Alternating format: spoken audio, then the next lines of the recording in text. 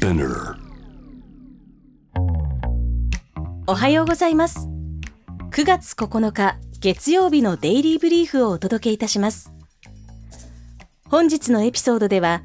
ボーイング25%賃上げでスト回避の暫定合意。iPhone16 新 AI チップ搭載へ。ベネズエラ野党指導者ゴンザレススペインに亡命。テスラと XAI 収益分配を協議。欧州住宅ローン成長が過去10年で最低に。メキシコの司法改革がアメリカ企業に与える懸念。についてお届けいたします。このポッドキャストデイリーブリーフでは世界で今まさに報じられた最新のグローバルニュースをいち早く声でお届けします。デイリーブリーフがリニューアル。新たに12時と18時に世界の今を把握できるフラッシュニュースを配信します。1日3回数分のリスニングで最新のグローバルニュースを効率的に理解しビジネスに生かすことができます。より世界を身近に感じる新しいデイリーブリーフをお楽しみください。ボーイング25%賃上げでスト回避の暫定合意アメリカの大手航空機メーカーボーイングは9月13日に予定されていたストライキを回避するため従業員3万2000人以上を代表する労働組合と4年間の暫定合意に達したと発表しました。この合意には25%の賃上げ12週間の有給育児休暇。雇用の安定向上が含まれシアトルとポーランド近郊の工場の従業員が9月10日に承認を投票で決定します。ボーイングは機体の生産を年末までに月38機に増産する目標を掲げており労働安定が急務となっています。同社は品質問題にも直面しており今年1月には新型機の部品不具合によるトラブルも発生しました。iPhone16 新 AI チップ搭載へ。アップルは日本時間9月10日午前2時に iPhone16 の新しい A18 チップの発表を行う予定です。アップルは6月の WWDC で AI 機能 Apple インテリジェンスを発表しさらに賢くなった Siri やカスタム絵文字生成写真編集などの機能を紹介していました。このチップはソフトバンク傘下の ARM 社が開発した最新アーキテクチャ V9 を採用しており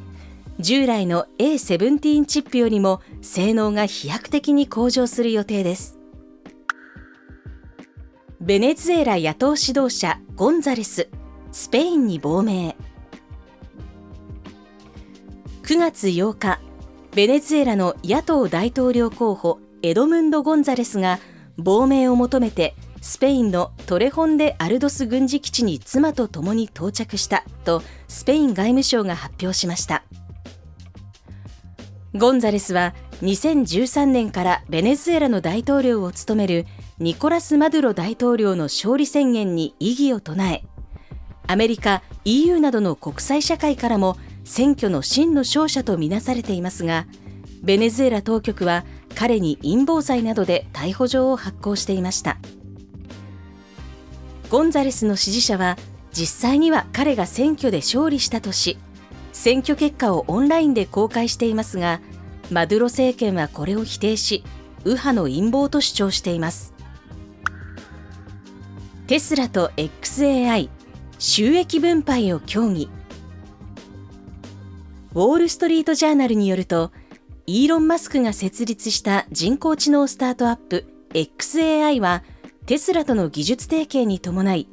将来的な収益分配について協議していることが報じられました。提案された契約では XAI がテスラの運転支援ソフトフルセルフドライビング FSD に AI 技術を提供しその見返りとしてソフトの売り上げの一部を受け取る形が検討されています。また XAI はテスラの音声アシスタントやロボットオプティマスにも技術提携を行う予定です。マスクはこれに対し契約の必要性を否定していますが企業間のリソース共有について株主からは利益相反の懸念が出ています。欧州住宅ローン成長が過去10年で最低に。ユーロ圏の住宅ローン貸し出しは過去10年で初めてゼロ成長になる見通しです。これは欧州中央銀行 ECB がインフレ対策のために金利を過去最高水準に引き上げた影響です。2022年の4.9%成長から一転して停滞し2014年以来の低水準です。住宅ローンはユーロ圏全体の貸し出しの約半分を占めていますが ECB が金利を2022年に0%から4%に引き上げたことで借入コストが増加し住宅購入が大幅に減少しています。しかし2025年からは金利が下がる見込みで住宅ローン需要が回復し3.1%の成長が見込まれています。2026年には4.2%まで上昇し住宅市場の回復が進む見通しです。メキシコの司法改革がアメリカ企業に与える懸念。メキシコで進行中の司法改革がアメリカ企業に大きな不安をもたらしています。アメリカ企業は約3兆円規模の投資計画を保留にしておりその背景にはメキシコの司法制度改革への懸念があります。この改革では最高裁判事を含む1700人以上の判事が選挙で選ばれるようになる見込みで判事が法律ではなく政治的な圧力に左右される恐れがあると懸念されています。改革が進めばメキシコとアメリカの貿易関係や投資環境に悪影響を与え企業の裁判所利用が減少する可能性が高まります。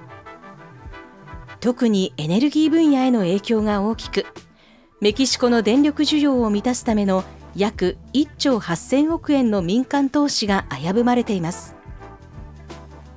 AI 機能の進化によってスマートフォンの未来はどのように変わるのでしょうか？あなたはどう予想しますか？デイリーブリーフをお聞きいただきありがとうございました。感想はカタカナでハッシュタグデイリーブリーフとつけてぜひ SNS にポストしてください。デイリーブリーフをフォローいただくと毎朝の配信に加え12時と18時に最新のグローバルニュースが届きます。本日の担当は小林美沙でした。次はお昼12時に AI によるフラッシュニュースを配信します